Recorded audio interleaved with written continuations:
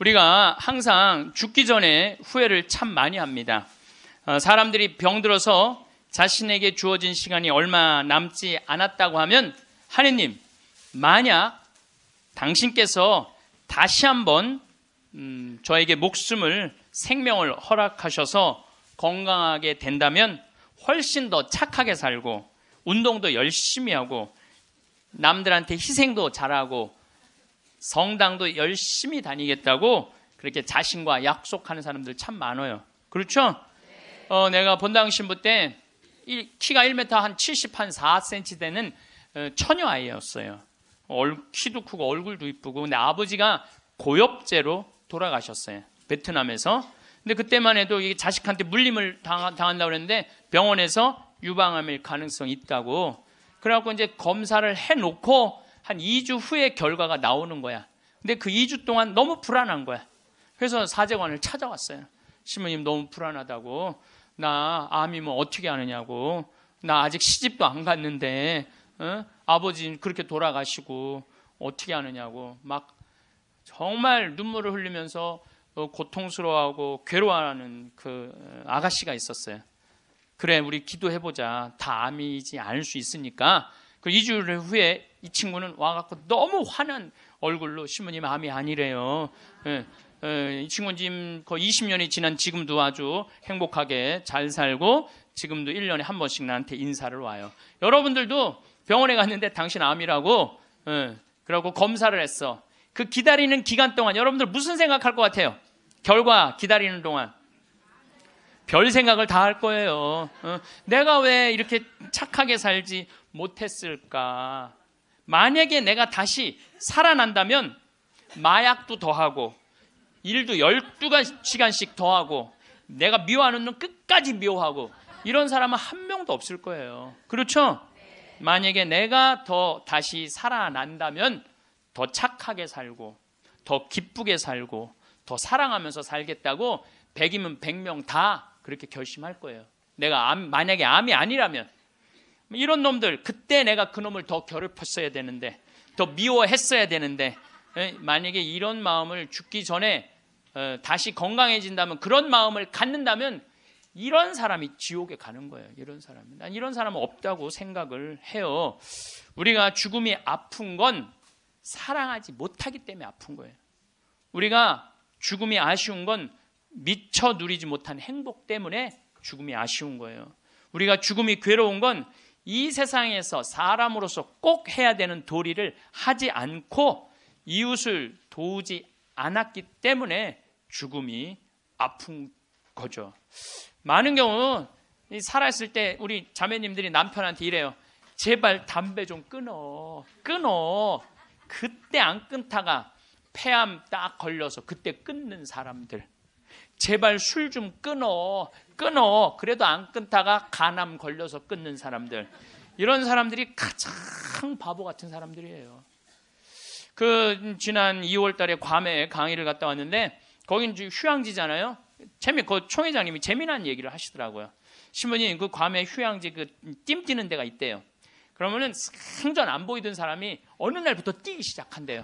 그럼 사람들끼리 서로 수군거린대요. 저 사람 의사가 당신 운동하지 않으면 죽는다고 얘기한 사람이다. 3개월 뛰다가 사라진대요. 죽은 거죠. 여러분들 운동도요 평상시에 하는 거예요. 평상시에 병 걸려서 암 걸려서 하는 게 아니고 뭐든지 지금 해야 돼. 사랑도 나중에 하지 말고 지금 하고 술도 나중에 끊지 말고 지금 끊고 담배도 어떻게 나중에 끊지 말고 지금 끊고 성주순례도 나중에 가지 말고 지금 가야 된다는 거예요. 사랑도 그래요. 많은 사람들이 왜 나를 아무도 사랑해주지 않지? 나 같은 거한테는 관심도 없네. 나같이 못생기고 뚱뚱하고 어? 능력 없는 나한테 관심 가져주는 사람 하나도 없네. 이러고 맨날 예? 울고 우울증에 걸리는 사람들이 있어요. 여러분들 많은 사람들이 저한테 그래요. 아, 신부님은 사랑을 많이 받아서 그런 말씀 우리들 마음을 이해를 못 한다고. 여러분들 제가 사랑만 받을까요? 저도 노력 무지하게 해요. 사랑하려고 노력을 해요. 여러분들 아무것도 안 하고 사랑만 해줘, 사랑만 해줘 그런 사람 사랑스러워요, 안 사랑스러워요? 노력하는 사람이 사랑도 받는 거예요. 그냥 무조건 가만히 있는데 누가 나를 사랑해줘요. 사랑도 열심히 하면 다 낭만적인 사람은요, 잘생기고 이쁜 사람이 낭만적인 사랑하는 거 아니에요. 내가 음, 신부 막 됐을 때 어머니 아버지 모시고 강릉 쪽으로 놀러를 갔는데 어, 하여튼 부부가 놀러를 왔는데 남자는 참 잘생겼는데 여자는 도저히 아닌 얼굴이야. 근데 남편이 나한테 사진을 찍어달라고 그러는데 여보 이리 와. 그리고 아내를 탁 앉는데 나 같으면 도저히 못 안을 것 같은데 그 얼굴을 보고는 아그 남편은 너무 귀중하게 아내를 안는 거예요. 그래서 사진을 찍으면서도 참 신기하다. 어떻게 저게 가능하지? 근데 한 50대 후반쯤 된 분들이었어요. 근데 제가 요즘 그 부부를 이해를 하기 시작을 해요. 요즘. 아, 그래서 그렇게 남편이 소중하게 대했구나. 이게 이해가 돼요. 왜? 가만히 생각을 해보니까 요즘 이렇게 우리 자매님들 이렇게 뭐 한 결혼 30년 된 자매님들 이렇게 보면은요. 그 남편한테 정성스럽게 하고 자식 잘 키우고 살림살이 내조한 그런 분들은요. 얼굴이 잘생기고 못생기고의 문제가 아니야. 남자가 이렇게 바라봤을 때 그래 나하고 함께 인생을 같이 왔구나. 그 자체로 소중한 거야. 이쁘고 그게 상관이 없더라고. 요즘 이제 나이를 먹으니까 그게 이해가 되더라고요. 아, 그래서 그렇게 끌어안고 그참 웃으면서 그 아내를 바라봤구나. 사랑은요, 잘생기고 예쁜 여자가 하는 게 아니에요. 마음이 따뜻한 사람들이 하는 게 사랑이에요. 야, 신부님, 저는 얼굴이 못생겨갖고 아무도 저를 바라봐주는 사람이 없어요. 여러분들, 얼굴이 못생겨갖고 아무도 자기를 사랑해주지 않으면 방법이 있어요. 자기가 자기를 사랑해주면 돼요. 자기가 자기를 사랑해주면 되잖아요. 남이 사랑해줄 때 기다리면 그거 힘들어요. 어, 내가 나를 아끼고 사랑해주면 빛이 나. 빛이 나면은 사람들은 나한테 다가오게 돼 있는 거예요. 그래서 우리는 하여튼 죽기 전에 생이별하는 거, 사랑도 못하고 뭐 이래서 죽는 게 싫어. 이젠 사랑도 하고 여행도 다니고 다 좋아. 그래도 죽는 게 싫어. 왜 그러냐면 존재의 사라짐 때문에 그래요. 내 존재가 이 세상에서 없어진다는 것은 너무너무 슬픈 거예요. 이건 좀 형이상학적인 문제예요. 내 존재가 사라진다는 거. 내가 40살인데 1월 달에 병원에 갔더니 의사가 당신 두 달밖에 못 산다. 기껏 살아야 두, 살, 두 달이다. 3월 달에는 죽는다. 그럼 이 사람은요, 이때부터 울기 시작을 하는 거야. 내가 3월 달에 죽어? 나 진달래 보고 싶은데 진달래 필 때 나는 이 세상에 없겠네. 나 여의도 벚꽃 구경 가고 싶은데 벚꽃 필 때 난 이 세상에 없겠네. 나 목련 보고 싶은데 목련 필 때 난 이 세상에 없겠네. 그리고 우는 사람 참 많아요. 나 생태마을에 있으니까 암 환자들 많이 오잖아요. 예. 그래갖고 막 울며 불며 신부님 난 아직 어디도 못 가봤고 제주도도 못 가봤고 바다도 못 가봤고 근데 나 죽는다고 막 울며 불며 하는 사람들 참 많아요. 한 분이 그 암 환자는 잊지를 못하겠어요. 암 진단을 받고 영등포에 역에 딱 섰는데 온 세상이 찬란해 보이더래. 온 세상에 막 딱 했는데 그 리아카를 그 박스를 그냥 묶어 갖고 리아카를 끌고 가는 할아버지가 너무 멋있어 보이더래. 저 할아버지는 살아서 생명을 누리고 살고 있구나. 저 할아버지는 생명을 누리고 살고 있구나. 그 할아버지가 그렇게 힘차 보이더래요. 그이 포장마차에서 떡볶이하고 오뎅을 끓이느냐고 땀을 흘리는 그 아줌마에 너무 부럽더래요. 그리고 버스가 온다고 막 버스 잡는다고 막 사람들이 뛰어갈 때 생명이 막 흘러 넘치더래요. 난 이제 이 세상에 더 이상 없겠구나. 이런 세상에 함께 할 수 없구나. 내 존재가 잊혀진다는 거, 내 존재가 사라진다는 건 너무너무 슬픈 거예요. 근데 여러분들, 제가 진리 하나 알려드릴게요. 우리 인간은요, 죽기 전까지는요, 절대 안 죽어요.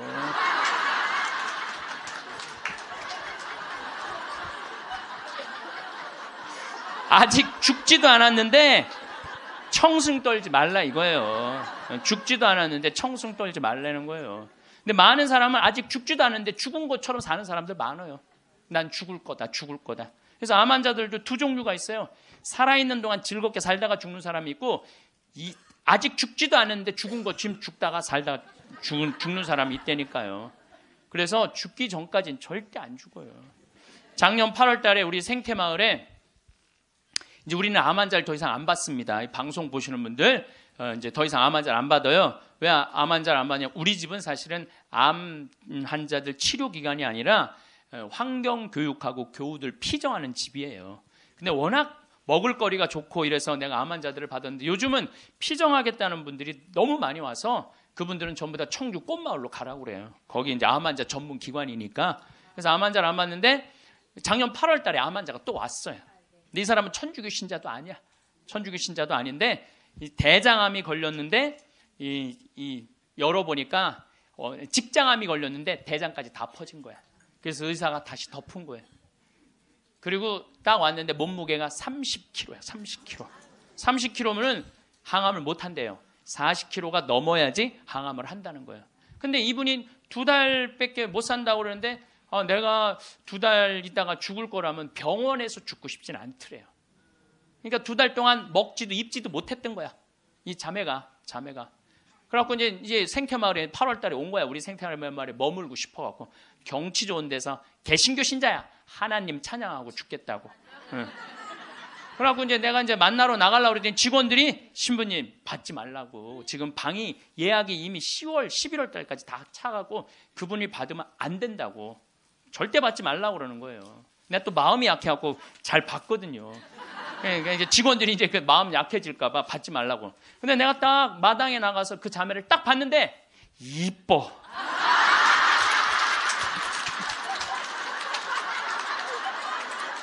아니 57이라는데 그렇게 이뻐요. 아, 이쁘더라고요. 아, 그러니까 난서 있지를 못하는 거야. 두 달 동안 입지도 먹지도 못했으니까. 예.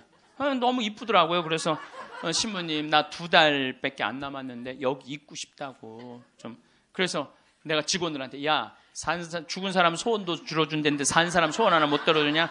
그 침대 있는 방 그거 내주자. 그리고 우리가 8월, 9월, 9월 추석 들어 있으니까 그땐 손님이 좀 뜸하지 않느냐? 예, 그래서 받자. 그래도 받았어요. 받았는데 이 자매가 유명한 번역가예요. 중국어, 영어, 독일어를 할 줄 아는 유명한 번역가예요. 예, 여러분들도 아마 그분 책을 한 번씩 봤을 거예요.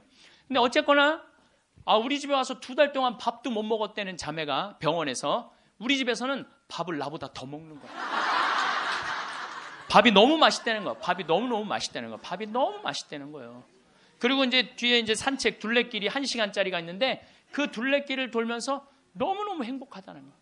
너무너무 행복하다고. 아, 이제 그래갖고 뭐 그런가 보다 해갖고 이제 10월 달이 됐는데 이제 두 달 후에 아니 방 빼줄 생각을 안 하는 거야.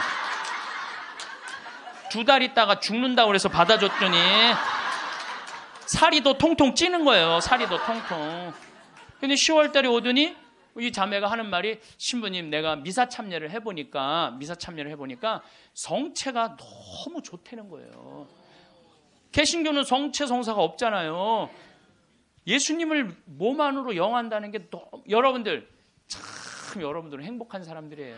여러분들 사랑은 뭐냐면요. 사랑은 같이 있고 싶은 거야. 여러분들 한 살, 두 살짜리 애 낳았을 때 걔랑 걔 보고 있으면 같이 있고 싶어? 같이 안 안고 싶어요? 너무 사랑스럽죠? 네. 같이 있고 싶어서 뭐라 그러냐면 눈에 넣어도 안 아프다 그래. 이 눈에 티끌 하나만 들어가도 막 생 난리를 쳤는데 이만한 걸 눈에 넣어도 안 아프다 그러니 이게 좀, 보통 이게 사랑 그것처럼 사랑스러워 눈에 넣어도 그 큰 거를 넣어도 안 아프다는 얘기예요. 근데 예수님은 우리랑 너무 같이 있고 싶은 거야. 눈에 넣어도 안 아픈 게 아니라 그걸 뛰어넘어서 너무 같이 있고 아예 안에 들어가서 살고 싶은 거 우리 안에 그래서 성체로 우리 안에 들어와서 살고 있는 거예요. 그 행복한 신비를 여러분들은 매일매일 경험하는 거예요. 근데 이, 이 우리 그 어, 자매가 이렇게 보면서 나도 성체 영하고 싶다는 거예요. 세례를 받아야 되는데 근데 동생이 목사님이야. 그 동생하고 상의를 했대요. 나 거기 가고 세례 받고 싶다고 천주교 세례. 근데 이 목사님이 한술 더 뜨는 거야. 누나 가고 기분도 좋고 몸도 좋아지니까 세례 그냥 받으라고. 천주교 큰 집이나 마찬가지니까 세례 받으라고. 그래갖고 이제 대레사로 세례를 줬어요. 대레사로. 그러니까 데레사가 이제 매 시간마다 나한테 와서 강의 듣잖아. 앉아갖고. 근데 똑같은 걸 듣는데도 똑같이 웃기대. 그 자매가. 웃지, 밥 먹지, 공기 마시지, 예수님 먹지. 좋다는 건 다 하는 거, 좋다는 건 다 하는 거예요.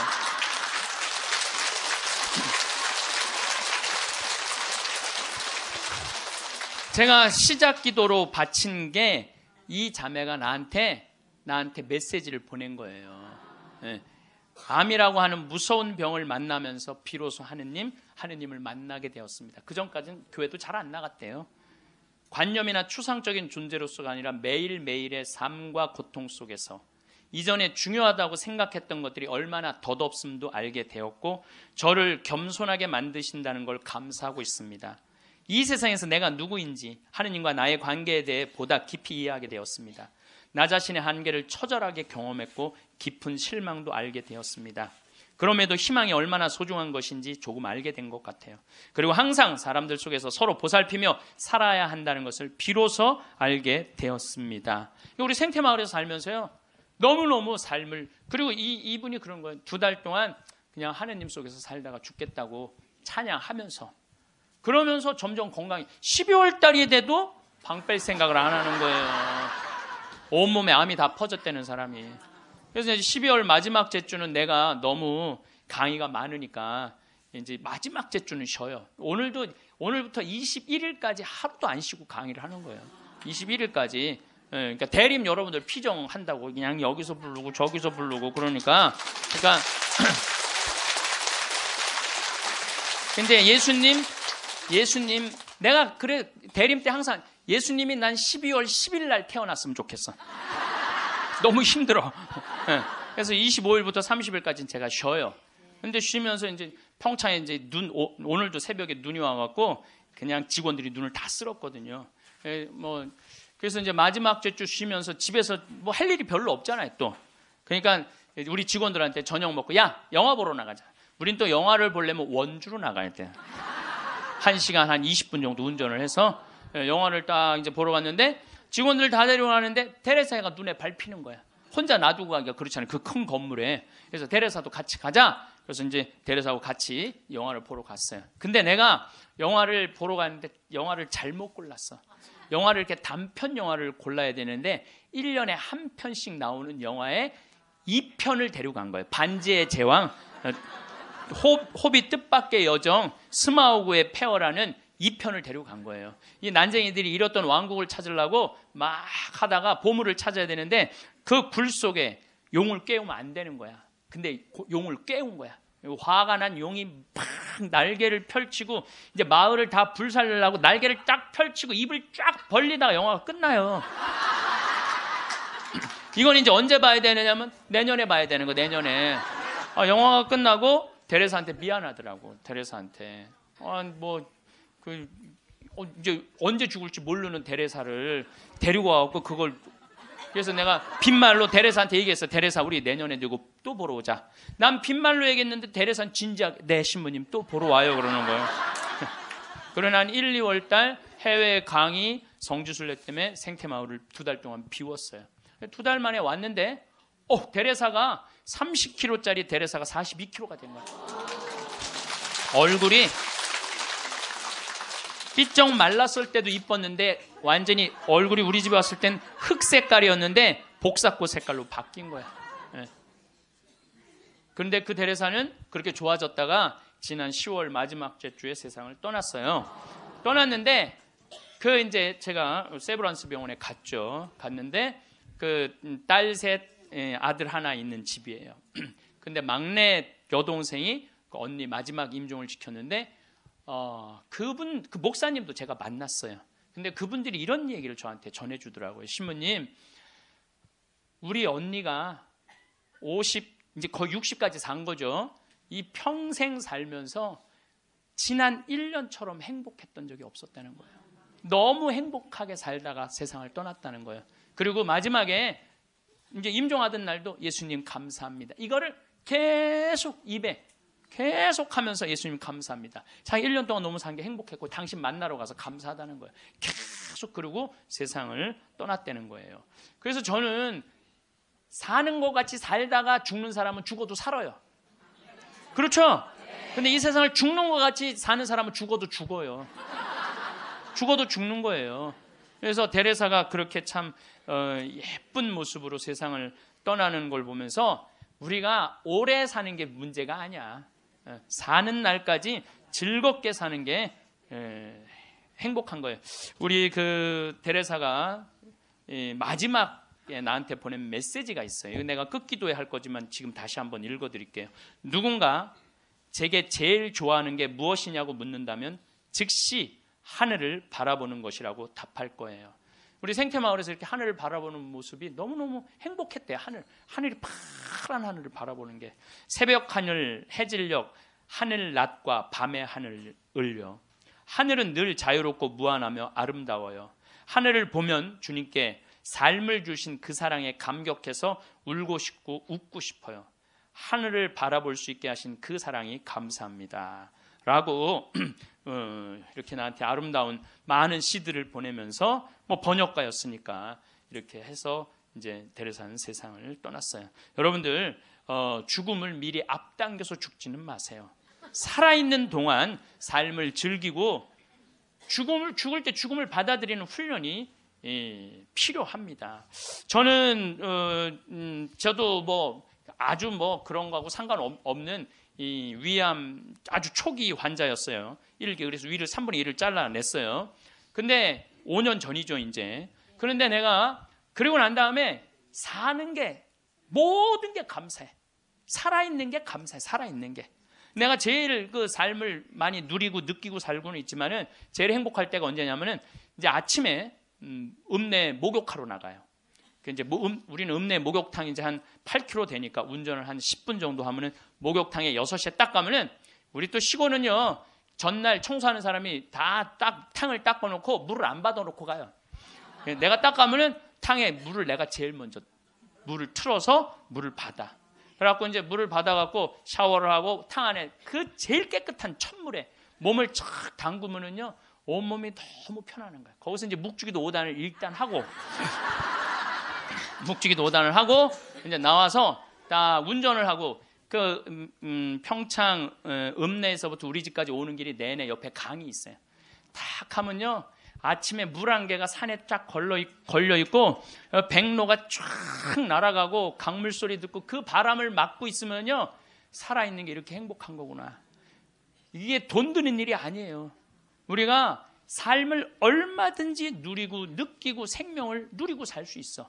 우리가 그걸 할 줄 모르는 게 문제인 거예요. 할 줄 모르는 게. 여러분들도 오늘 이렇게 와서 강의 들으니까 삶이 생명감이 좀 느껴지지 않아요?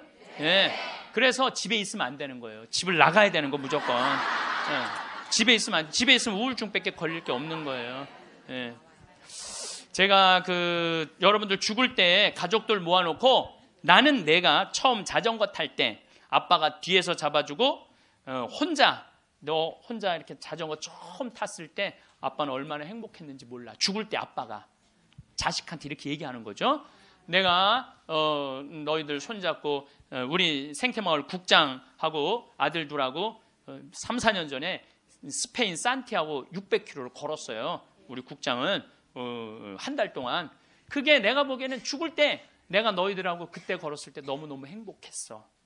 이런 말을 할 때 여러분들 멋있게 죽는 거예요. 안 죽을라고 이리 도망 다니고 저리 도망 다니고 그냥 풀뿌리 캐먹고 그냥 죽은 건지 산 건지도 모르고 그냥 이러고 살다가 죽, 죽지 말라는 거예요, 여러분들. 김수환 추기영님이 돌아가실 때 고맙습니다. 사랑하십시오. 참 멋있게 죽잖아요. 여러분들도 죽을 때 좀 제발 멋있게 죽어. 어, 죽을 때 좀 멋있게 죽어야 될 것 같아요.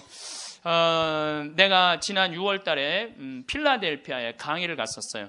어, 강의가 끝나고 이제 버지니아로 옮겨가려고 그러는데 이, 기차를 타고 가려고 그러는데 어, 젊은 부부들이 뭐 젊었다고 그래야 한 45, 6된 부부들이 어, 신부님 저희들이 모셔다 드릴게요. 어, 뭐 뿌레젤이라는 가게를 하는 분이에요. 아니 가게는 어떻게 하고? 아 직원들이 알아서 해요. 뿌레젤이라는 건 뭐냐면은 밀가루에다가 소금 넣어서 굽는 빵이에요. 이게 하나에 300원이야. 그걸 다섯 개를 묶어요. 그래갖고 그게 그냥 필라델피아는 흑인이 많이 살아요. 그걸 먹고 막 허기 우리 김밥 같이 먹는 거야. 김밥 같이. 예. 그래서 이제 어 그럼 고맙다고 한 3시간 반, 4시간 걸리는 거리니까 차를 타고 하는데 이런 얘기, 저런 얘기, 이민 중에 어려웠던 얘기, 행복했던 얘기 많이 하는데 참 그 두 부부가 나한테 기가 막힌 얘기를 해주더라고요. 한참 뿌레째를 구워서 팔면서 음, 대출도 갖고 그러는데 하루는 완전히 늙은 흑인 하나가 예, 찾아왔대요.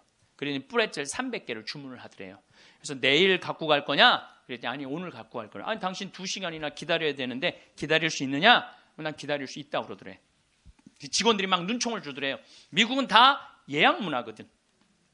전날 예약을 하고 찾아가겠다 이러는데 어, 그 흑인은 와갖고 두 시간을 기다리고 있더니 돈 벌고 싶은 욕심에 그 뿌레째를 부지런히 걷대요. 거 갖고 300개를 줬대. 뭐, 뭐가, 뭐 하려고 그러냐? 그랬더니 내가 학교 수인데 우리 아이들 주려고 갖고 가는 거다. 예, 그리고 갔대요.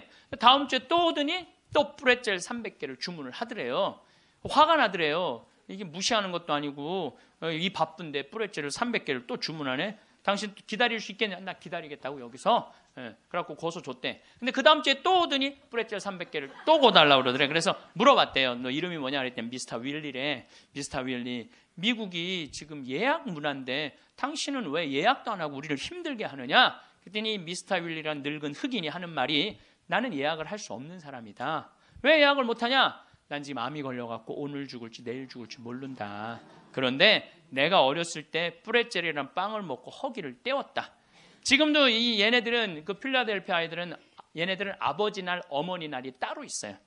그럼 그거 하나를 사서 아버지한테 보낸대요. 그걸 옛날 생각을 하고 그렇게 그걸 맛있게 먹는데 그러니까 나도 어렸을 때 이 뿌레젤이랑 빵을 먹고 허기를 때우고 했는데 지금 내가 음, 수위로 있는 이 학교에 아이들도 아침을 못 먹고 오는 애들이 참 많다. 그래서 내가 마지막에 죽기 전에 그럼 너 학교 심부름이 아니냐? 그랬더니 심부름이 아니다. 내 돈으로 마지막에 이 아이들한테 거의 300달러나 되는 돈을 계속 해갖고 아이들한테 나눠주는다는 거예요. 그래서 나는 언제 죽을지 모르기 때문에 예약을 할 수가 없다. 그리고는 다시는 안 왔대요. 죽은 거지. 그러니까 미국 사람은 죽을 때도 멋있게 죽어. 저는 여러분들도 좀 죽을 때 좀 멋있게 죽었으면 좋겠어. 예? 좀 어, 내가 어디 선물을 갖고 가고 어디 선물을 좀 주고 죽는 그런 모습이 좀 있었으면 어, 좋을 것 같아요. 그래서 이제 우리가 죽을 때 멋있게 죽으려면 잘 살아야 돼. 잘 살아야 돼. 그래서 저는 여러분들 우리가 잘 살려면 삶을 계획을 잘 세워야 돼. 계획이 없는 삶은요 잘 살 수가 없어요. 여러분들 인생 계획 어떻게 잘 세워져 있어요? 예. 네. 아유 신부님 무슨 계획이 있어? 다 살았는데 천만의 말씀이요. 다 살, 여기 다산 분 한 분도 안 계세요. 제가 얘기했죠. 죽기 전까지는 절대 안 죽는다고. 그러니까 계획이 있으셔야 된다니까. 저는 신학생 때 세미나를 하는데 앞으로 주 5일째가 된다는 거예요. 주 5일째. 그럼 토요일 날 일요일 날 교우들 성당 안 나온다는 거예요. 경치 좋은데 구경 가느냐고 성당에 안 다닌다는 거예요. 프랑스가 신자 비율이 97%인데 주 5일째 실시하고 미사 참여율이 8%로 떨어져요. 90%가 성당에 안 나오는 거예요. 내가 프랑스에 가보니까 금요일 저녁부터 놀러 나가더라고요. 금요일 저녁. 그 일요일만 되면 그 파리로 엄청난 차들이 들어오는 거야. 그럼 언제 성당에 가? 토요일 날 놀러 다니느냐고. 그럼 내가 30년 전에 신학교 교수님들이 그러더라고요. 앞으로 주 5일째 되면 한국도 그런 일이 벌어질 거다. 금요일 저녁부터 놀러 나갈 것이다. 경치 좋은데 구경 간다고. 그럼 그들을 어떻게 하느님 품으로 이끌 것이냐? 답을 내놔라. 저는 그때 그런 생각을 했어요. 그래, 교우들이 경치 좋은데 구경 간다고 성당을 안 나와? 그럼 나는 나중에 신부가 되면 성당을 경치 좋은데 전화해야 되겠다. 그리고 글리 와라, 오라고 해야 되겠다. 그래서 이제 제가 이제 신부 되자마자 저는 생태마을을 신학생 때부터 꿈꿨으니까 신부 되자마자 땅 보러 다녔어요. 용문으로, 양평으로, 가평으로, 안성으로. 주머니 돈 한 푼 없어도 항상 꿈을 꾸면 하느님이 이루어 주시거든요. 네. 어, 월요일 날 나한테 40억 봉헌한 분도 내가 아프리카 잠비아에 대학, 농업대학 세운다는 꿈을 꾼 거예요. 그러니 누가 이루어 주시는 거예요? 하느님이 이루어 주시는 거예요. 믿음이 있어야 돼. 언젠간 줄 거라는 믿음이 있어야 돼. 네. 그래서 이제 막 여기저기 땅 보러 다니는데 어, 뭐, 뭐 30억, 50억 그러더라고요. 부동산 업자가 신부님 돈이 어디 있어 돈을 보, 땅을 보러 다니느냐고. 나 돈 한 푼도 없다. 어. 대신 꿈이 있다, 꿈이. 그래서 이제 어, 이제 교구청에서 내가 하도 그렇게 뛰어다니니까 주교님이 부르더니 강원도 평창에 땅이 15,000평이 있다는 거, 15,000평. 그거를 꾸며 보라는 거예요. 그래서 제가 서른 살에서부터 그걸 꾸미기 시작을 한 거예요. 본당 신부 하면서. 그뭐 집에 들어오면 새벽 2, 3시 늘 그랬어요. 다 본당 사목하고 집에 들어오고 그러니까. 10년 하는데 도저히 안 되겠더라고요. 그래서 주교님한테 청을 드렸죠. 주교님, 저 이제 초대 본당 신부 두 번을 5년을 했으니 저 이제 강원도 평창 생태마을에 들어가서 살게 허락을 해 주십시오. 청을 넣었더니 어 주교님 그럼 가라고. 그래서 내가 가서 생태마을에 가서 사는데 10년 동안 꽃 심어놓고 나무 심어놓고 사니까 지금은 봄만 되면 천국이에요 천국.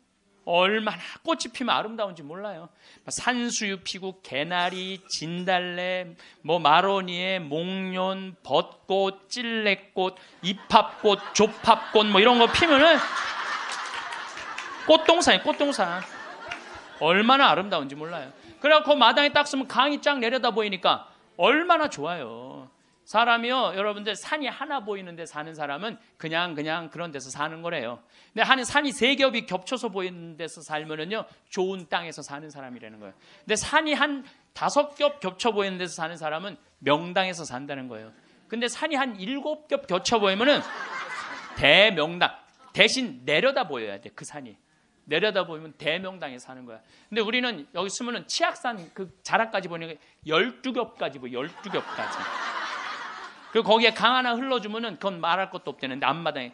그러니까 딱 마당에 딱 서 있으면은요, 얼마나 행복한지 몰라요. 이렇게 내가 50살이 된 거야. 그리고 밤하늘의 별이 여러분들 우리 저기 뭐야 대레사도 별 얘기 했잖아요. 어, 별이 얼마나 아름다운지 몰라요. 그러니까 우리 여기 남산이 278m야. 우리 생태마을은 325m야. 그러니까 강의 끝나고 밤 11시, 12시에 가면요. 하늘을 보면요. 지금은 이제 오리온, 황소자리, 마차부자리, 뭐 카시오페아, 북두칠성 별똥별이 떨어지잖아요. 별똥별 꼬리 타는 소리가 들려요. 별똥 떨어질 때, 아니 뻥이 아니라니까 떨어질 때 따다다다다다 이러면서 떨어요. 따다다다다. 참. 이렇게 내 청춘 50이 됐어 내가. 그랬더니 교구청에서 어 저기 뭐야 부르더니 황 신부님 그 평창 생태마을 꾸민 경험을 가지고 여주의 땅이 15만 8천 평이 있대. 15만 8천 평. 여기 10배야. 평창보다 10배. 그거를 좀 꾸미라는 거. 4년 전에. 그래갖고 내가 여주 이제 군청에 들어갔더니 신부님 거기는 안 되는 데라는 거예요. 안 되는. 왜 안 되느냐? 여기는 수질 관리 지역이기 때문에 한강 2km밖에 안 남았기 때문에 여기는 이렇게 큰 건물을 허가를 해줄 수가 없다는 거예요. 난 너무 하고 싶은데 허가 받을 수 있는 길이 뭐냐? 그랬더니 국회에 올라가래. 국회 국회에서 해결해 줘야 된대. 우린 또 그렇게 되면 바로 해요. 예, 국회 갔어요. 그래갖고 해당 지역 국회의원을 만났어요. 나 우리나라 국민들이 맨날 먹고 마시는 데만 있는 게 아니라 정말 정신적으로 쉴 수 있는 어, 공간을 만들고 싶다. 그래서 여기 하고 싶다. 그랬더니 국회의원이 딱 보더니 신문 이거 안 되는 거라고. 근데 한마디 했어. 내가 안 되니까 여기 왔지 데모 오겠냐고. 어.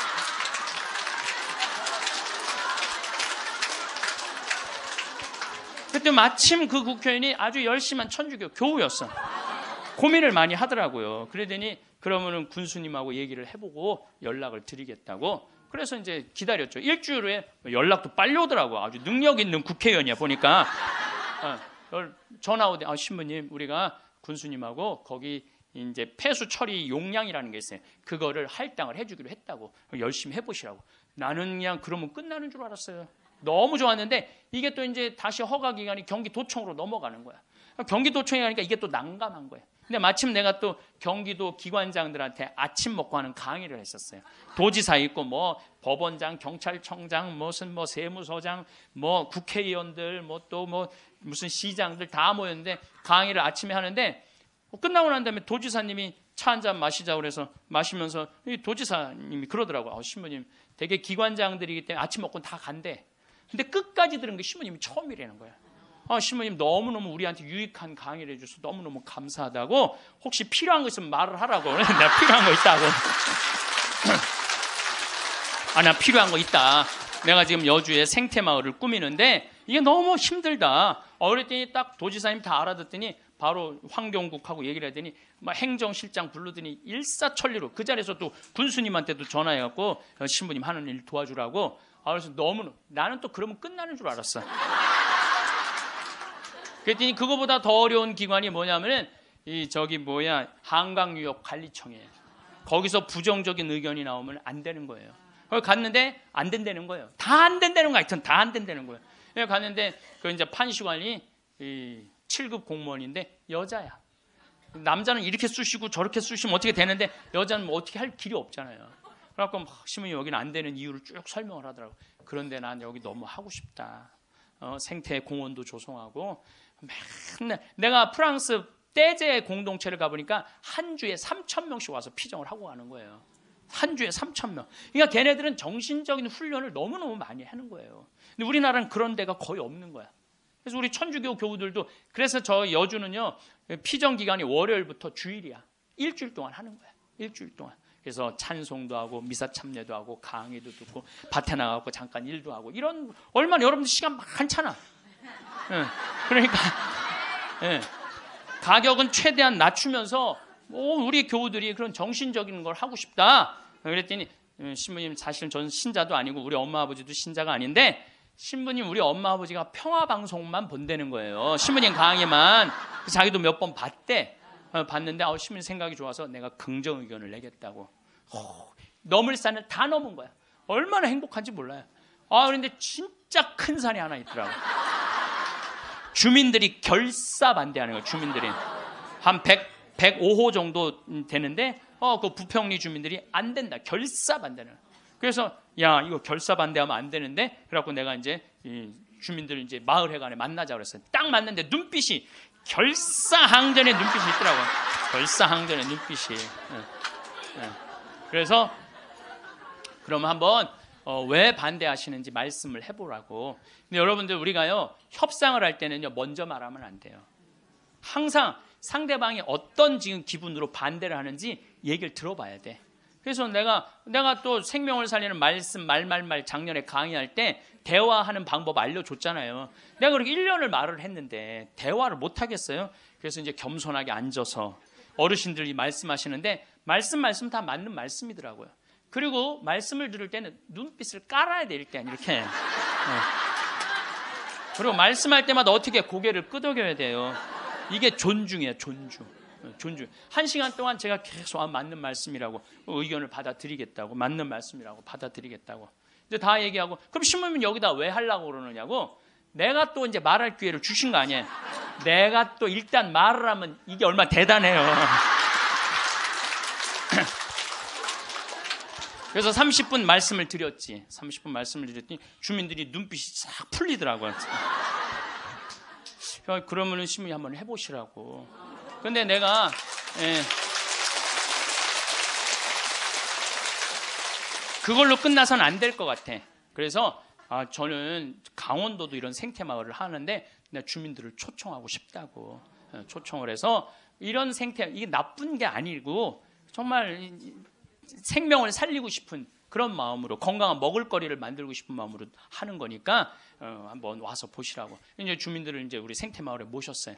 근데 그날 따라 피정객들이 엄청나게 온 거야. 그날 따라 그래갖고 막 우리 지역 농산물 다 유통을 하거든요.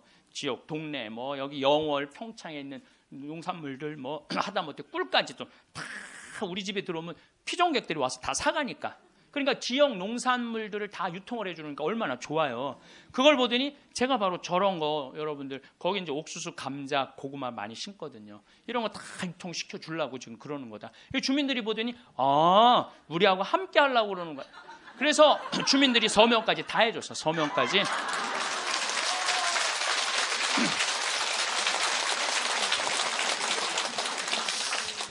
나는 그 보통 텔레비전 보면 막 반대할 때 막 결사 반대 막 피 같은 거 막 써놓고 막 그리고 서로 막 죽기 살기 까무러치기로 싸우는 거 보면 이해가 안 돼. 왜 말로 하면 될 걸 왜 싸우는지 이해가 안 가.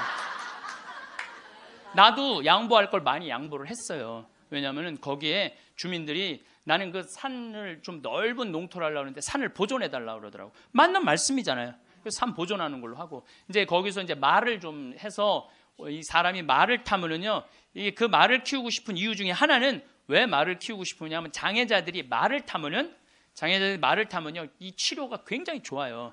그래서 장애인 협회에서 나한테 와갖고 신부님 말을 좀 하면은 말 탈 공간이 없다는 거예요. 지금 수도권은 너무 비싸고, 근데 여긴 땅이 15만 8천 평 아니야, 15만 8천 평. 그러니까 이 좀 해달라 그래서 그거 하려고 그러는데 음, 말똥 냄새가 마을에 오면 불편하다. 그것도 내가 포기했어요. 그러니까 원하는 걸 다 해준 거죠. 뭐 내 것만 한데 협상이라는 거죠. 내 걸 포기하는 게 협상이에요. 네, 그래갖고 이제 아마 내년부터 이제 생태 마을을 이제 꾸미게 될 거예요. 그러니까 난 60살까지 일이 기다리고 있는 거예요. 60살까지. 남들은 60살 되면 명퇴한다, 조퇴한다 그러는데 나는 일이 기다리고 있으니까 얼마나 좋아. 사람은요, 꿈꾸는 사람이 행복한 거예요. 꿈꾸는 사람이. 여러분들 과거에 매달린 사람 불행하세요. 과거. 내가 그때 이 인간을 만나지 말았어야 되는데. 여러분들 그거, 그거 후회해봐야 그 인생 돌이켜져요? 돌이켜지는 게 아니에요. 어, 우리가 과거에 매달린 사람이 우울증에 걸린다니까요. 그때 내가 삼성전자 주식을 사뒀어야 되는데 3만 원 할 때 사뒀었는데 3만 원 할 때 3만 원 할 때 사뒀으면은 지금 150만 원 왔다 갔다 하잖아요. 3억 저기 막 3억 원어치 사놨으면 150억 된 거 아니야? 150억. 여러분들 아까도 말씀드렸지만 과거에 집착하는 사람은요 불행한 사람이에요. 과거에 내가 아주 대학 환경공학과 대학원 다녔거든요. 아 거기 너무너무 재미난 일, 얘기 일거리가 있어요. 하나가 뭐냐면은 거기 옆에 유신고등학교라고 있었어요. 근데 지금은 아주 좋은 고등학교 때인데 처음에 처음에 이제 막 그 지역에서 막 시골에서 이제 온 애들이 꼴뚱한 애들이 참 많은 거예요. 담임 선생님이 그랬대요. 이 바보들아 저기 뭐야 이, 이 등록금 학비 이거 있으면 앞에 땅 그때 거기가 한 평에 100원 했거든요. 30년 전 이거나 사두라고 이 바보들아 맨날 선생님 그랬대요. 그런데 30년이 지난 지금 거기는 한 평에 3천만 원이야. 그럼 예, 그 이제 난애 나이 뭐 한 네다섯 살 위아래 그 그때 공부 못했던 애들이 이런 말을 하는 거. 그때 담임 선생님 말을 들었어야 되는데. 여러분들 아니 그럼 30년 전으로 돌아갈 거야 어떻게 할 거야? 과거에 매달린 사람은 불행한 사람이에요. 미래를 꿈꾸는 사람이 행복한 거예요. 미래를 꿈꾸는 사람. 계획이 있어야 된다는 거예요. 삶에는 계획이 있어야 된다는 거예요. 우리는 죽기 전에 항상 후회를 많이 합니다. 죽음이 아픈 건 사랑하지 못하기 때문에 아픈 거예요. 죽음이 아쉬운 건 미처 누리지 못한 행복 때문입니다. 죽음이 괴로운 것은 도리를 다하지 못했기 때문입니다. 아무도 나를 사랑해 주지 않는다면 내가 나를 사랑하면 됩니다. 암 환자의 이야기도 재미있었습니다. 오래 사는 게 중요한 게 아니고 사는 날까지 즐겁게 사는 것이 중요합니다. 삶에는 또 계획이 있어야 한다고 합니다. 과거에 매달린 사람은 불행하고 미래를 꿈꾸는 사람이 행복하다고 말씀하십니다. 오늘 내용도 너무 생각을 많이 하게 해주는 내용이었고 너무 재미있었습니다. 신부님 강의는 언제 들어도 최고입니다. 시청해 주셔서 감사합니다. 반복해서 들으시면 가슴에 더욱 새겨질 것입니다. 우리가 항상 죽기 전에 후회를 참 많이 합니다. 어, 사람들이 병들어서 자신에게 주어진 시간이 얼마 남지 않았다고 하면 하느님, 만약 당신께서 다시 한번 음, 저에게 목숨을 생명을 허락하셔서 건강하게 된다면 훨씬 더 착하게 살고 운동도 열심히 하고 남들한테 희생도 잘하고 성당도 열심히 다니겠다고 그렇게 자신과 약속하는 사람들 참 많아요. 그렇죠? 어, 내가 본당 신부 때 키가 1m 한 70, 한 4cm 되는 어, 처녀 아이였어요. 키도 크고 얼굴도 이쁘고 근데 아버지가 고엽제로 돌아가셨어요. 베트남에서. 근데 그때만 해도 자식한테 물림을 당, 당한다고 그랬는데 병원에서 유방암일 가능성이 있다고. 그래갖고 이제 검사를 해놓고 한 2주 후에 결과가 나오는 거야. 근데 그 2주 동안 너무 불안한 거야. 그래서 사제관을 찾아왔어요. 신부님 너무 불안하다고. 나 암이면 어떻게 하느냐고. 나 아직 시집도 안 갔는데 어? 아버지 그렇게 돌아가시고 어떻게 하느냐고 막 정말 눈물을 흘리면서 어, 고통스러워하고 괴로워하는 그 어, 아가씨가 있었어요. 그래, 우리 기도해 보자. 다 암이지 않을 수 있으니까. 그 2주일 후에 이 친구는 와갖고 너무 화난 얼굴로 신부님 암이 아니래요. 예, 예, 이 친구는 지금 거의 20년이 지난 지금도 아주 행복하게 잘 살고 지금도 1년에 한 번씩 나한테 인사를 와요. 여러분들도 병원에 갔는데 당신 암이라고 예, 그러고 검사를 했어. 그 기다리는 기간 동안 여러분들 무슨 생각할 것 같아요? 결과 기다리는 동안 별 생각을 다 할 거예요. 어, 내가 왜 이렇게 착하게 살지 못했을까? 만약에 내가 다시 살아난다면 마약도 더하고 일도 12시간씩 더하고 내가 미워하는 놈 끝까지 미워하고 이런 사람은 한 명도 없을 거예요. 그렇죠? 만약에 내가 더 다시 살아난다면 더 착하게 살고 더 기쁘게 살고 더 사랑하면서 살겠다고 100이면 100명 다 그렇게 결심할 거예요.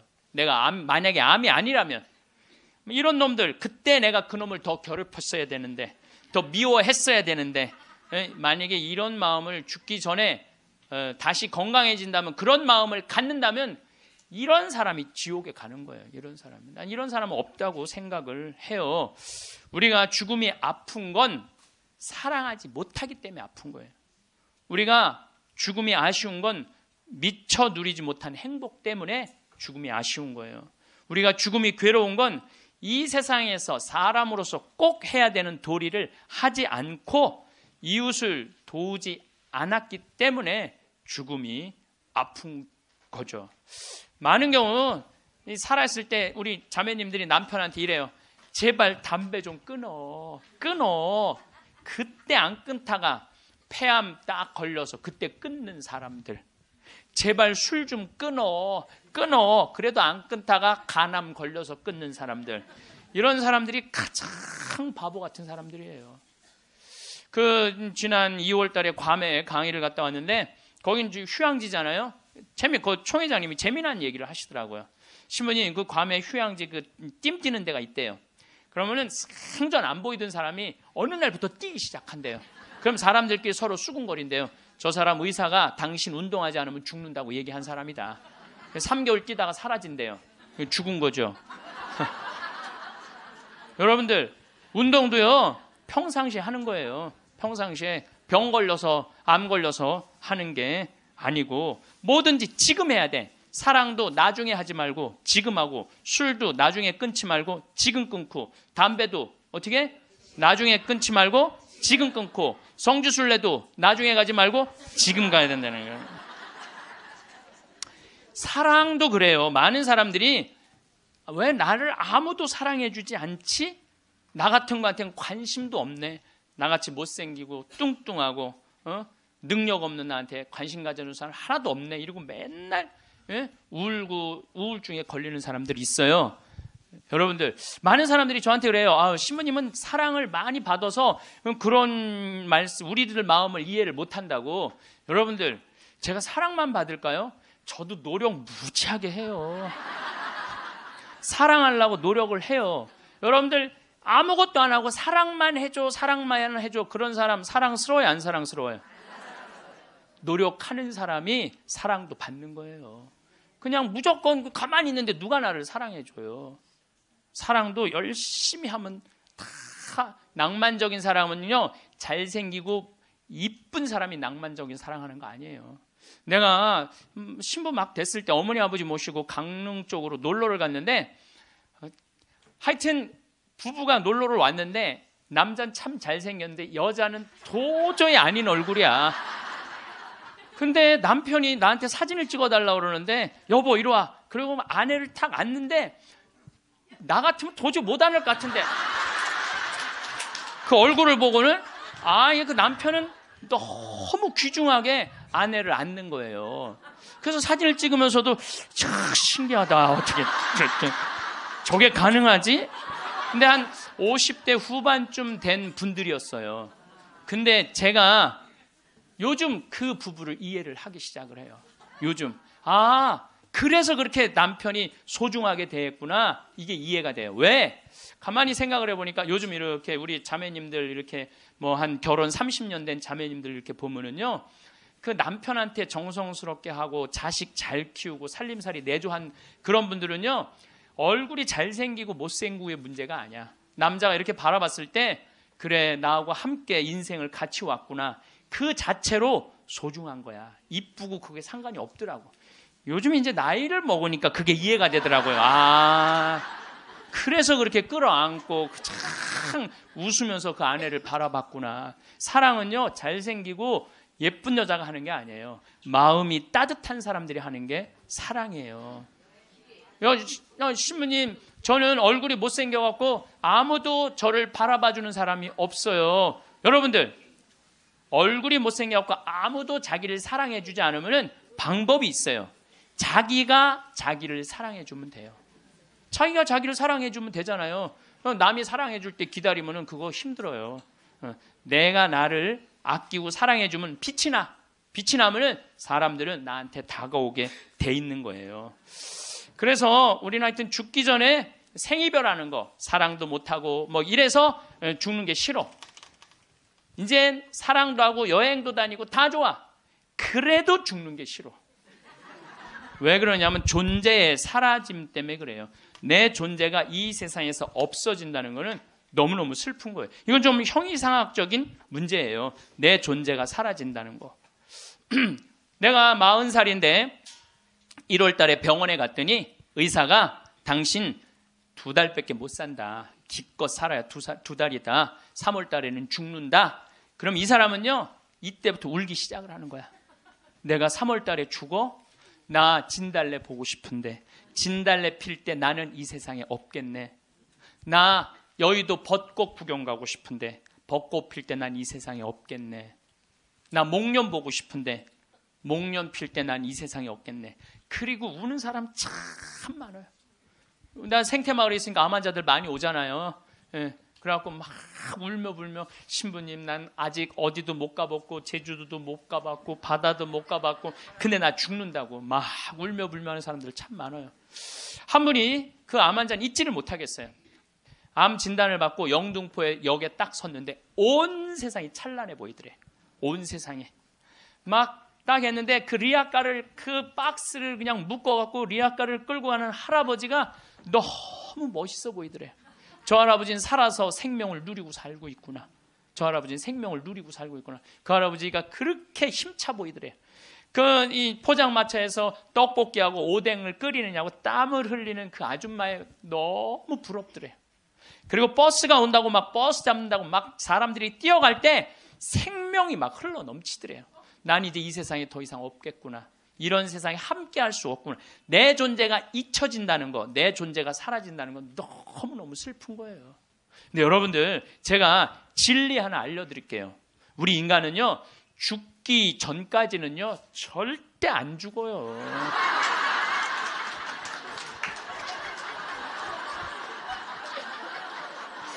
아직 죽지도 않았는데, 청승 떨지 말라 이거예요. 죽지도 않았는데 청승 떨지 말라는 거예요. 근데 많은 사람은 아직 죽지도 않았는데 죽은 것처럼 사는 사람들 많아요. 난 죽을 거다, 죽을 거다. 그래서 암 환자들도 두 종류가 있어요. 살아있는 동안 즐겁게 살다가 죽는 사람이 있고, 이, 아직 죽지도 않았는데 죽은 것 지금 죽다가 살다 죽은, 죽는 사람이 있다니까요. 그래서 죽기 전까지는 절대 안 죽어요. 작년 8월 달에 우리 생태마을에 이제 우리는 암 환자를 더 이상 안 받습니다. 방송 보시는 분들 어, 이제 더 이상 암 환자를 안 받아요. 왜 암 환자를 안 받냐? 우리 집은 사실은 암 환자들 치료 기관이 아니라 어, 환경 교육하고 교우들 피정하는 집이에요. 근데 워낙 먹을거리가 좋고 이래서 내가 암 환자들을 받았는데 요즘은 피정하겠다는 분들이 너무 많이 와서 그분들은 전부 다 청주 꽃마을로 가라고 그래요. 거기 이제 암 환자 전문 기관이니까. 그래서 암 환자를 안 받는데 작년 8월 달에 암 환자가 또 왔어요. 이 사람은 천주교 신자도 아니야. 천주교 신자도 아닌데 대장암이 걸렸는데 이, 이 열어보니까 어, 직장암이 걸렸는데 대장까지 다 퍼진 거야. 그래서 의사가 다시 덮은 거예요. 그리고 딱 왔는데 몸무게가 30kg야. 30kg. 30kg면은 항암을 못 한대요. 40kg가 넘어야지 항암을 한다는 거예요. 근데 이분이 두 달밖에 못 산다고 그러는데 아, 내가 두 달 있다가 죽을 거라면 병원에서 죽고 싶진 않더래요. 그러니까 두 달 동안 먹지도 입지도 못했던 거야. 이 자매가 자매가 그래갖고 이제, 이제 생태마을에 8월 달에 온 거야. 우리 생태마을에 머물고 싶어갖고. 경치 좋은 데서 개신교 신자야. 하나님 찬양하고 죽겠다고. 응. 그래갖고 이제 내가 이제 만나러 나가려고 그랬더니 직원들이 신부님 받지 말라고. 지금 방이 예약이 이미 10월, 11월 달까지 다 차가고 그분이 받으면 안 된다고. 절대 받지 말라고 그러는 거예요. 내가 또 마음이 약해갖고 잘 받거든요. 그러니까 이제 직원들이 이제 그 마음 약해질까봐 받지 말라고. 근데 내가 딱 마당에 나가서 그 자매를 딱 봤는데 이뻐.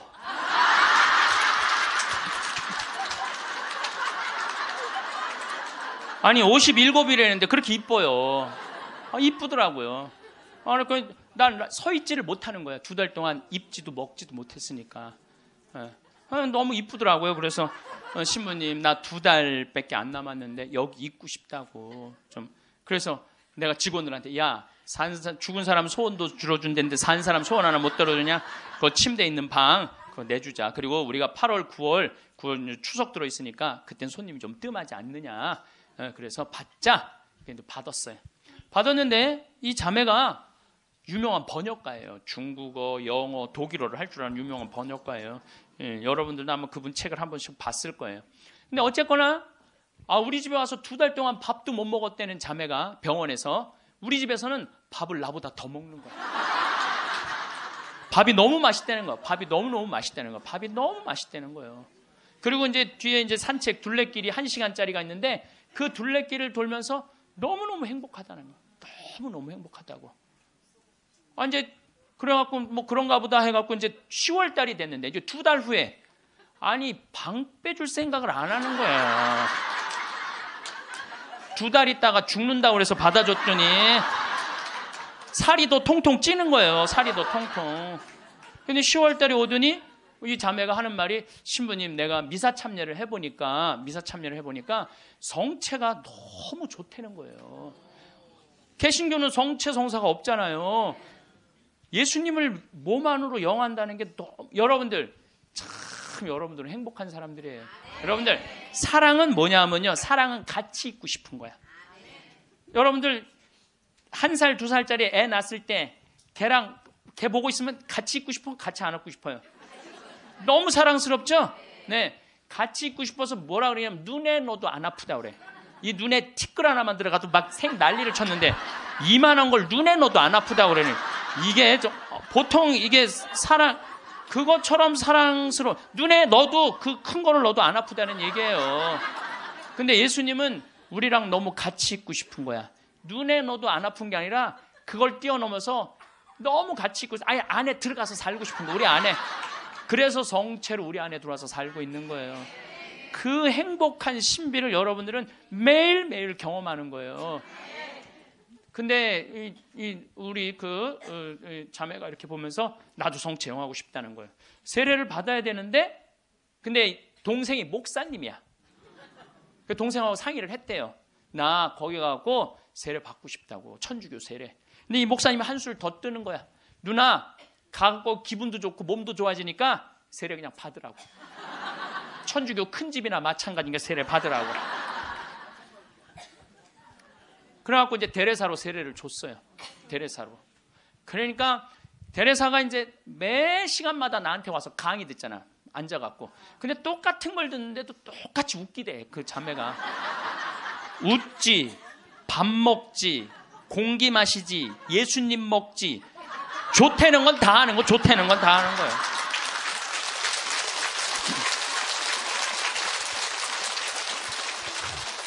제가 시작 기도로 바친 게 이 자매가 나한테 나한테 메시지를 보낸 거예요. 네.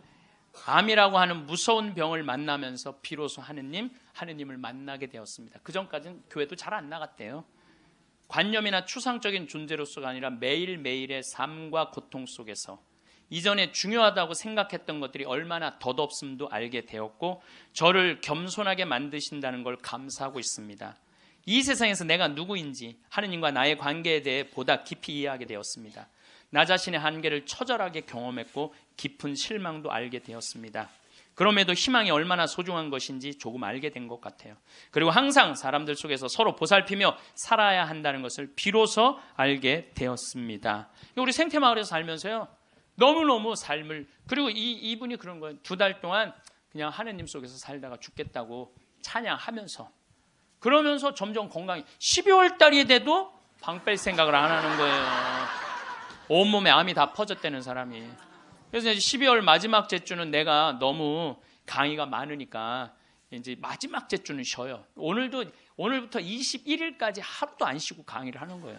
21일까지. 예, 그러니까 대림 여러분들 피정한다고 그냥 여기서 부르고 저기서 부르고 그러니까 그러니까 근데 예수님 예수님 내가 그래 대림 때 항상 예수님이 난 12월 10일 날 태어났으면 좋겠어. 너무 힘들어. 예, 그래서 25일부터 30일까지는 제가 쉬어요. 근데 쉬면서 이제 평창에 이제 눈 오, 늘도 새벽에 눈이 와갖고 그냥 직원들이 눈을 다 쓸었거든요. 예, 뭐 그래서 이제 마지막 주 쉬면서 집에서 뭐 할 일이 별로 없잖아요. 또 그러니까 우리 직원들한테 저녁 먹고 야 영화 보러 나가자. 우린 또 영화를 보려면 원주로 나가야 돼. 한 시간 한 20분 정도 운전을 해서 예, 영화를 딱 이제 보러 갔는데 직원들 다 데려가는데 테레사가 눈에 밟히는 거야. 혼자 놔두고 가기가 그렇잖아요. 그 큰 건물에. 그래서 테레사도 같이 가자. 그래서 이제 테레사하고 같이 영화를 보러 갔어요. 근데 내가 영화를 보러 갔는데 영화를 잘못 골랐어.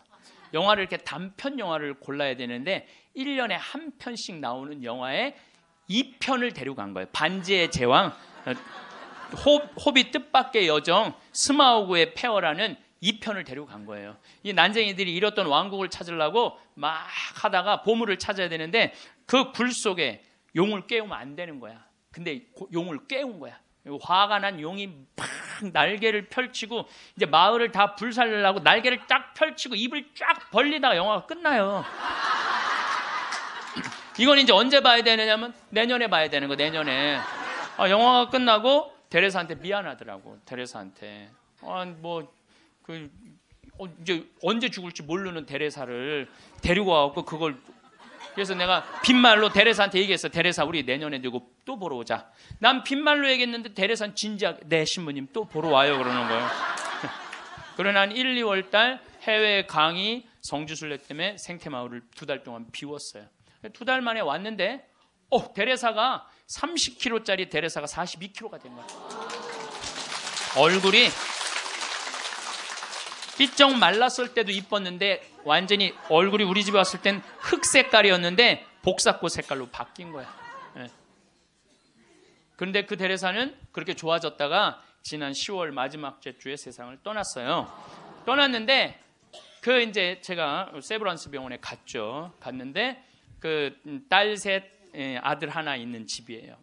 근데 막내 여동생이 그 언니 마지막 임종을 지켰는데 어, 그분 그 목사님도 제가 만났어요.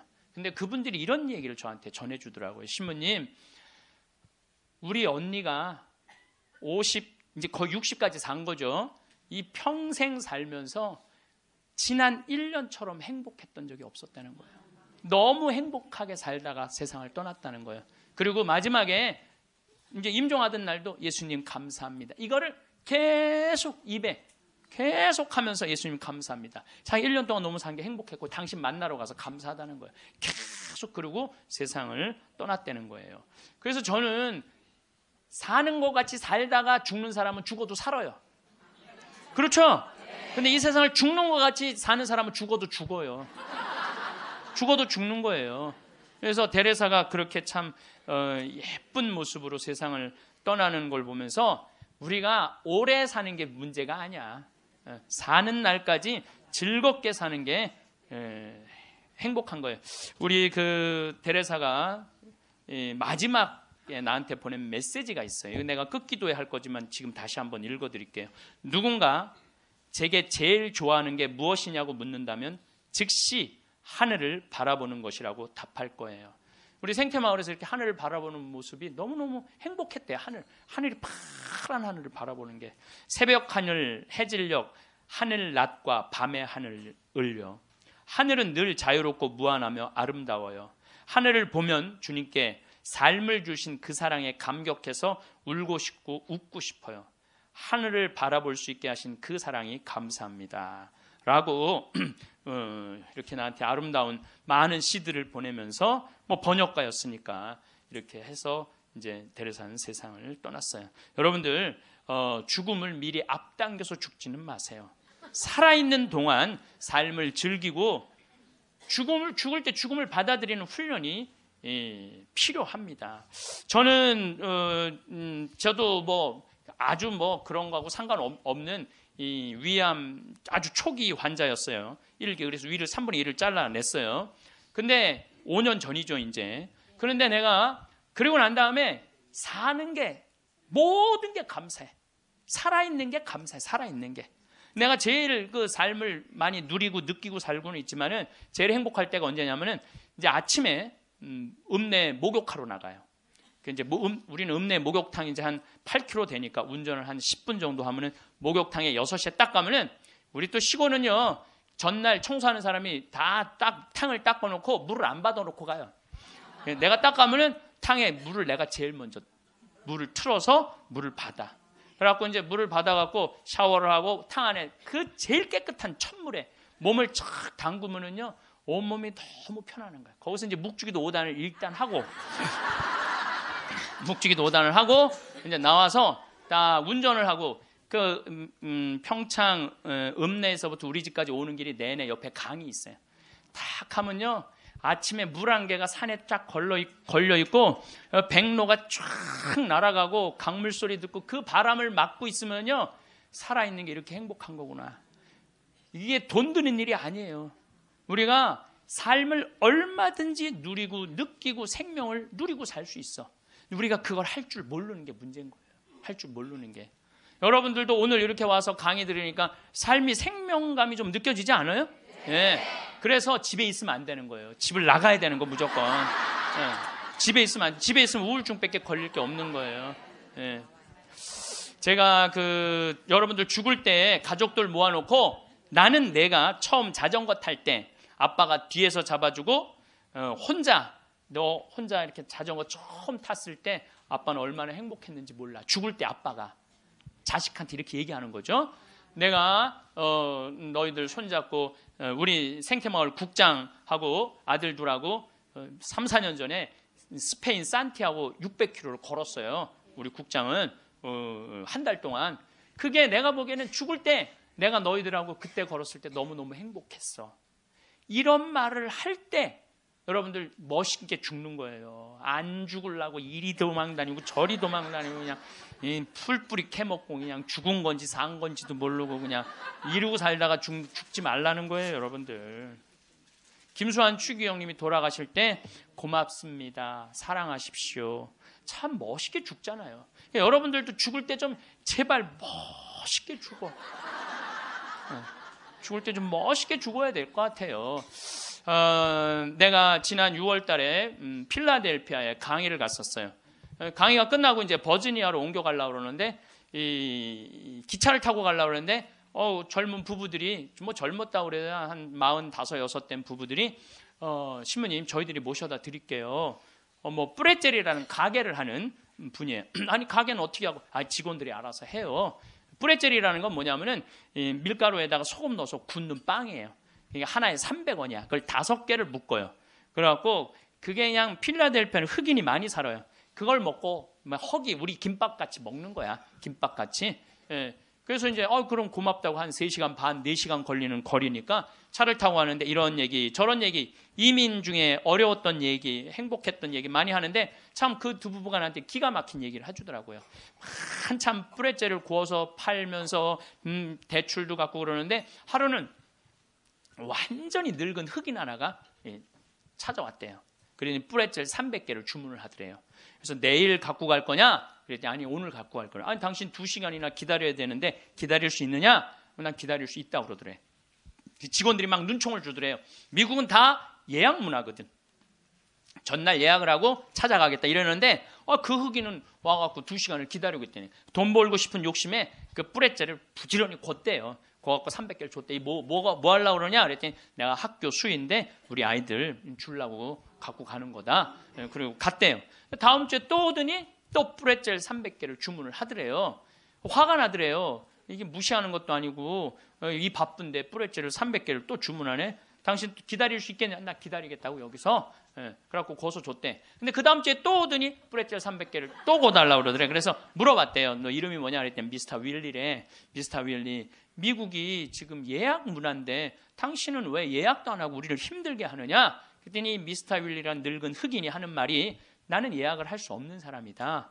왜 예약을 못하냐? 난 지금 암이 걸려갖고 오늘 죽을지 내일 죽을지 모른다. 그런데 내가 어렸을 때 뿌레젤이란 빵을 먹고 허기를 때웠다. 지금도 이 얘네들은 그 필라델피아 아이들은 얘네들은 아버지 날, 어머니 날이 따로 있어요. 그럼 그거 하나를 사서 아버지한테 보낸대요. 그걸 옛날 생각을 하고 그렇게 그걸 맛있게 먹는데. 그러니까 나도 어렸을 때 이 뿌레젤이란 빵을 먹고 허기를 때우고 했는데 지금 내가 음, 수위로 있는 이 학교에 아이들도 아침을 못 먹고 오는 애들이 참 많다. 그래서 내가 마지막에 죽기 전에 그럼 너 학교 심부름이 아니냐? 그랬더니 심부름이 아니다. 내 돈으로 마지막에 이 아이들한테 거의 300달러나 되는 돈을 계속 해갖고 아이들한테 나눠 주는 다는 거예요. 그래서 나는 언제 죽을지 모르기 때문에 예약을 할 수가 없다. 그리고는 다시는 안 왔대요. 죽은 거지. 그러니까 미국 사람은 죽을 때도 멋있게 죽어. 저는 여러분들도 좀 죽을 때 좀 멋있게 죽었으면 좋겠어. 예? 좀 내가 어디 선물을 갖고 가고 어디 선물을 좀 주고 죽는 그런 모습이 좀 있었으면 어, 좋을 것 같아요. 그래서 이제 우리가 죽을 때 멋있게 죽으려면 잘 살아야 돼. 잘 살아야 돼. 그래서 저는 여러분들 우리가 잘 살려면 삶을 계획을 잘 세워야 돼. 계획이 없는 삶은요 잘 살 수가 없어요. 여러분들 인생 계획 어떻게 잘 세워져 있어요? 예. 네. 아유 신부님 무슨 계획이 있어 다 살았는데 천만의 말씀이요. 다 살, 여기 다 산 분 한 분도 안 계세요. 제가 얘기했죠. 죽기 전까지는 절대 안 죽는다고. 그러니까 계획이 있으셔야 된다니까. 저는 신학생 때 세미나를 하는데 앞으로 주 5일째가 된다는 거예요. 주 5일째. 그럼 토요일 날 일요일 날 교우들 성당 안 나온다는 거예요. 경치 좋은데 구경 가느냐고 성당에 안 다닌다는 거예요. 프랑스가 신자 비율이 97%인데 주 5일째 실시하고 미사 참여율이 8%로 떨어져요. 90%가 성당에 안 나오는 거예요. 내가 프랑스에 가보니까 금요일 저녁부터 놀러 나가더라고요. 금요일 저녁. 그 일요일만 되면 그 파리로 엄청난 차들이 들어오는 거야. 그럼 언제 성당에 가? 토요일 날 놀러 다니느냐고. 그럼 내가 30년 전에 신학교 교수님들이 그러더라고요. 앞으로 주 5일째 되면 한국도 그런 일이 벌어질 거다. 금요일 저녁부터 놀러 나갈 것이다. 경치 좋은데 구경 간다고. 그럼 그들을 어떻게 하느님 품으로 이끌 것이냐? 답을 내놔라. 저는 그때 그런 생각을 했어요. 그래, 교우들이 경치 좋은데 구경 간다고 성당을 안 나와? 그럼 나는 나중에 신부가 되면 성당을 경치 좋은데 전화해야 되겠다. 그리고 글리 와라, 오라고 해야 되겠다. 그래서 이제 제가 이제 신부 되자마자 저는 생태마을을 신학생 때부터 꿈꿨으니까 신부 되자마자 땅 보러 다녔어요. 용문으로, 양평으로, 가평으로, 안성으로. 주머니 돈 한 푼 없어도 항상 꿈을 꾸면 하느님이 이루어 주시거든요. 네. 어, 월요일 날 나한테 40억 봉헌한 분도 내가 아프리카 잠비아에 대학 농업대학 세운다는 꿈을 꾼 거예요. 그러니 누가 이루어 주시는 거예요? 하느님이 이루어 주시는 거예요. 믿음이 있어야 돼. 언젠간 줄 거라는 믿음이 있어야 돼. 예. 그래서 이제 막 여기저기 땅 보러 다니는데 어뭐뭐 뭐 30억, 50억 그러더라고요. 부동산 업자가 시민님 돈이 어디 있어 돈을 보, 땅을 보러 다니느냐고 나 돈 한 푼도 없다.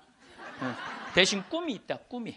그래서 이제 어, 이제 교구청에서 내가 하도 그렇게 뛰어다니니까 주교님이 부르더니 강원도 평창에 땅이 15,000평이 있다는 거, 15,000평. 그거를 꾸며 보라는 거예요.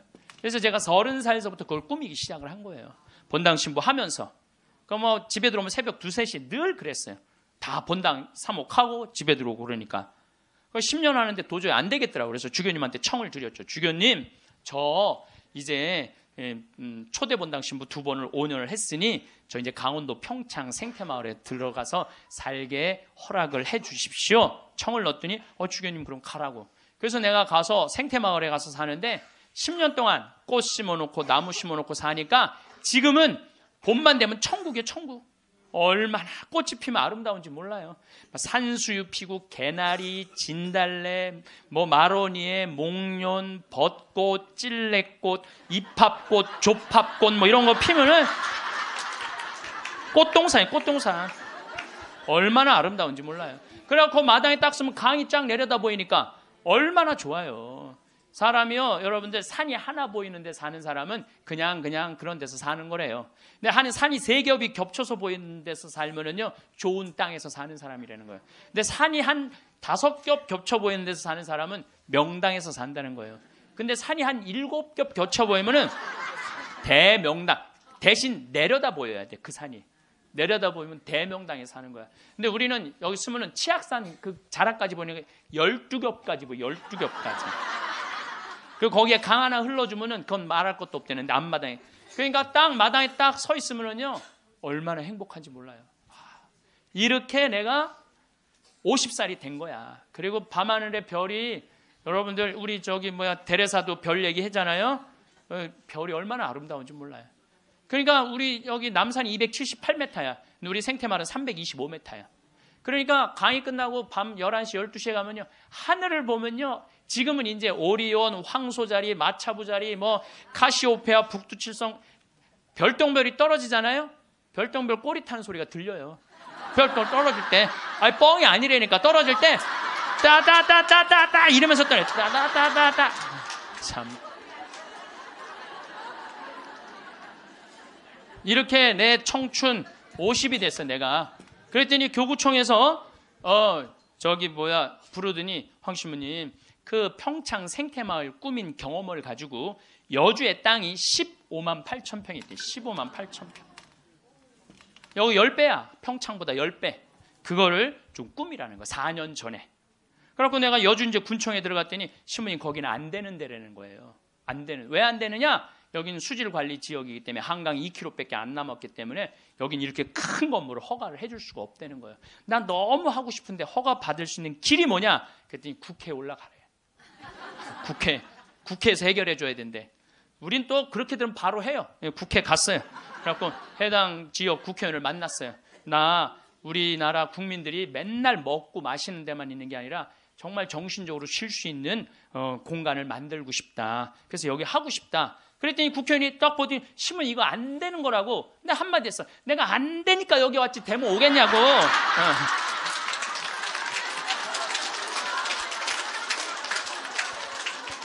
그때 마침 그 국회의원이 아주 열심한 천주교 교우였어. 고민을 많이 하더라고요. 그러더니 그러면은 군수님하고 얘기를 해보고 연락을 드리겠다고. 그래서 이제 기다렸죠. 일주일 후에 연락도 빨리 오더라고. 아주 능력 있는 국회의원이야 보니까. 어, 전화 오대. 아 신부님 우리가 군수님하고 거기 이제 폐수 처리 용량이라는 게 있어요. 그거를 할당을 해주기로 했다고. 열심히 해보시라고. 나는 그냥 그러면 끝나는 줄 알았어요. 너무 좋았는데 이게 또 이제 다시 허가 기간이 경기도청으로 넘어가는 거야. 경기도청에 가니까 이게 또 난감한 거야. 근데 마침 내가 또 경기도 기관장들한테 아침 먹고 하는 강의를 했었어요. 도지사 있고 뭐 법원장, 경찰청장, 무슨 뭐 세무서장, 뭐 국회의원들, 뭐 또뭐 뭐 무슨 시장들 다 모였는데 강의를 아침에 하는데 끝나고 난 다음에 도지사님이 차 한 잔 마시자 그래서 마시면서 도지사님이 그러더라고요. 어, 신부님 되게 기관장들이기 때문에 아침 먹고 다 간대. 근데 끝까지 들은 게 신부님이 처음이라는 거야.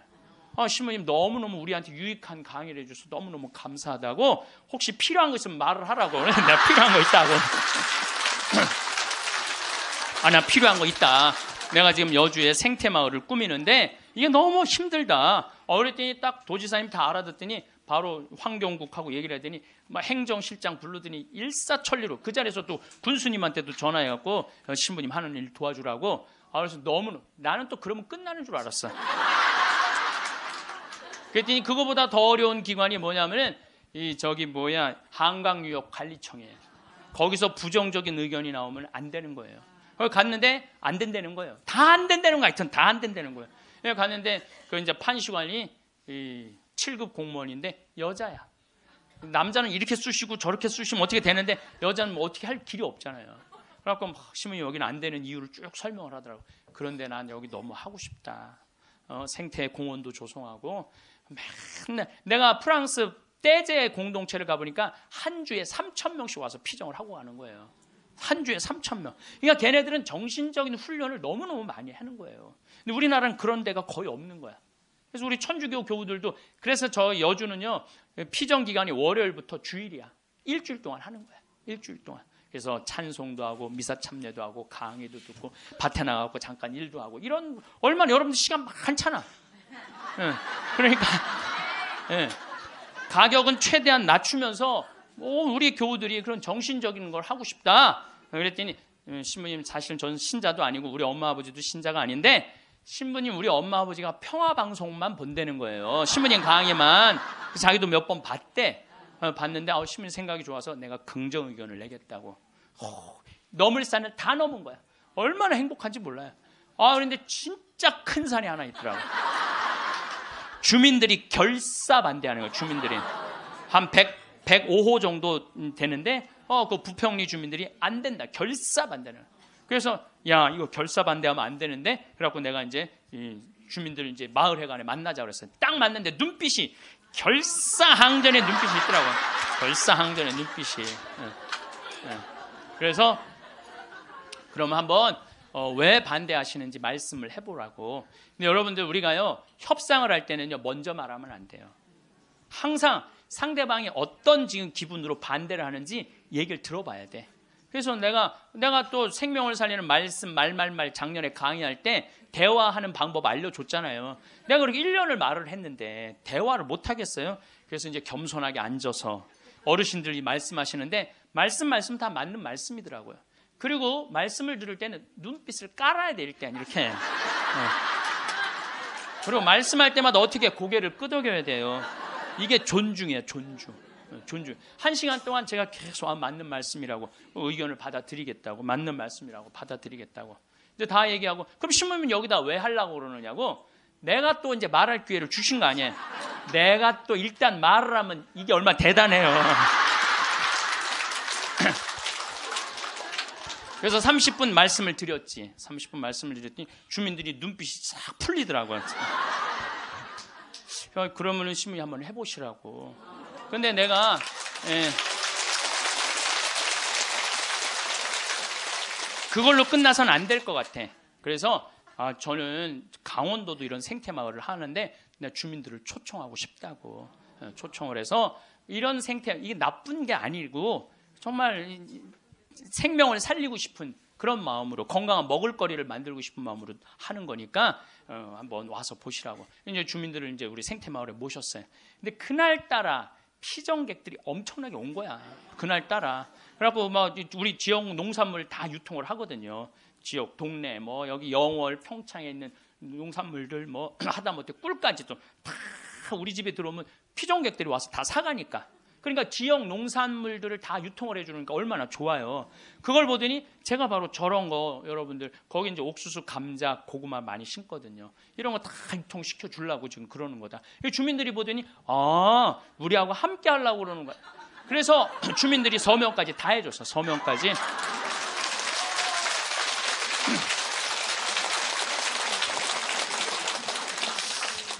나는 그 보통 텔레비전 보면 막 반대할 때 막 결사 반대 막 피 같은 거 막 써놓고 막 그리고 서로 막 죽기 살기 까무러치기로 싸우는 거 보면 이해가 안 돼. 왜 말로 하면 될 걸 왜 싸우는지 이해가 안 가.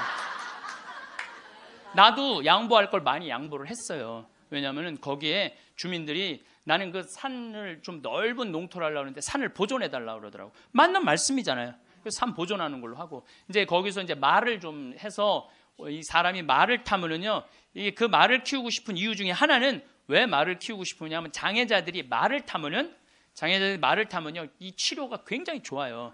그래서 장애인 협회에서 나한테 와갖고 신부님 말을 좀 하면은 말 탈 공간이 없다는 거예요. 지금 수도권은 너무 비싸고 근데 여긴 땅이 15만 8천 평 아니야 15만 8천 평. 그러니까 좀 해달라 그래서 그거 하려고 그러는데 음, 음, 말똥 냄새가 마을에 오면 불편하다. 그것도 내가 포기했어요. 그러니까 원하는 걸 다 해준 거죠. 뭐 내 것만 한데 협상이라는 거죠. 내 걸 포기하는 게 협상이에요. 네, 그래갖고 이제 아마 내년부터 이제 생태 마을을 이제 꾸미게 될 거예요. 그러니까 난 60살까지 일이 기다리고 있는 거예요. 60살까지. 남들은 60살 되면 명퇴한다, 조퇴한다 그러는데 나는 일이 기다리고 있으니까 얼마나 좋아. 사람은요, 꿈꾸는 사람이 행복한 거예요. 꿈꾸는 사람이. 여러분들 과거에 매달린 사람 불행하세요. 과거. 내가 그 때이 인간을 만나지 말았어야 되는데. 여러분들 그거, 그거 후회해봐야 그 인생 돌이켜져요? 돌이켜지는 게 아니에요. 어, 우리가 과거에 매달린 사람이 우울증에 걸린다니까요. 그때 내가 삼성전자 주식을 사뒀어야 되는데 3만 원 할때 돼. 3만 원 할 때. 3만 원 할 때 사뒀으면은 지금 150만 원 왔다 갔다 하잖아요. 3억 음, 저기 막 3억 원어치 사놨으면 150억 된 거 아니야. 150억. 여러분들 아까도 말씀드렸지만 과거에 집착하는 사람은요 불행한 사람이에요. 과거에 내가 아주 대학 환경공학과 대학원 다녔거든요. 아 거기 너무 너무 재미난 일, 얘기 일거리가 있어요. 하나가 뭐냐면은 그 옆에 유신고등학교라고 있었어요. 근데 지금은 아주 좋은 고등학교였는데 처음에 처음에 이제 막 그 지역에서 막 시골에서 이제 온 애들이 꼴뚱한 애들이 참 많은 거예요. 담임 선생님이 그랬대요. 이 바보들아 저기 뭐야 이, 하- 이 등록금 학비 이거 있으면 앞에 땅 그때 고기가 한 평에 100원 했거든요. 30년 전 이거나 사두라고 이 바보들아 맨날 선생님 그랬대요. 그런데 30년이 지난 지금 거기는 한 평에 3천만 원이야. 그럼 예, 그 이제 난애 나이 뭐 한 네다섯 살 위아래 그 그때 공부 못했던 애들이 이런 말을 하는 거. 그때 담임 선생님 말을 들었어야 되는데. 여러분들 아니 그럼 30년 전으로 돌아갈 거야 어떻게 할 거야? 과거에 매달린 사람은 불행한 사람이에요. 미래를 꿈꾸는 사람이 행복한 거예요. 미래를 꿈꾸는 사람. 계획이 있어야 된다는 거예요. 삶에는 계획이 있어야 된다는 거예요.